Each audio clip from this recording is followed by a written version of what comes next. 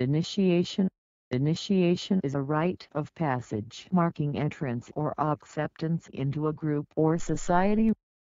It could also be a formal admission to adulthood in a community or one of its formal components.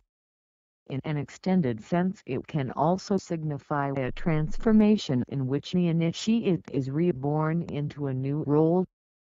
Examples of initiation ceremonies might include Hindu Diksha, Christian baptism or confirmation, Jewish bar or bat mitzvah, acceptance into a fraternal organization, secret society or religious order, or graduation from school or recruit training.